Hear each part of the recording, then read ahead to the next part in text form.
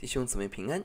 我们思想：若我们的生活是一个建筑物，什么是我们的根基呢？格罗西书第二章提醒我们：基督是一切。在我们身边有很多世俗的小学，有人用花言巧语要迷惑我们，但我们应当在基督里接受基督，生根建造。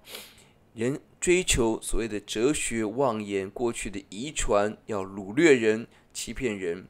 但我们宣告，一切的奥秘丰盛都在基督里，而形体人论断人，透过吃喝饮食节期各种的禁令，但我们却发现教会在基督里得着丰盛，得着一切我们所需要的，并且这些的饮食节期都是后世的影儿，而真正的实体是基督。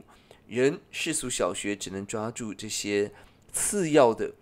隐而不重要的，但是我们今天认识那位真正的根基、真正的真神，就是基督。而我们与神同死同活。世俗的小学服从世俗的规条，看似智慧，但却无法克制人的情欲的问题。但基督的真理使我们与主同死同活，神就赦免我们一切的过犯，让我们在十架里头可以夸胜。歌里。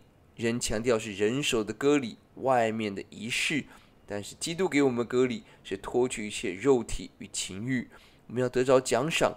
人故意谦卑，要夺去人在永恒当中的奖赏。而今天我们可以靠主被联络，因神而长进。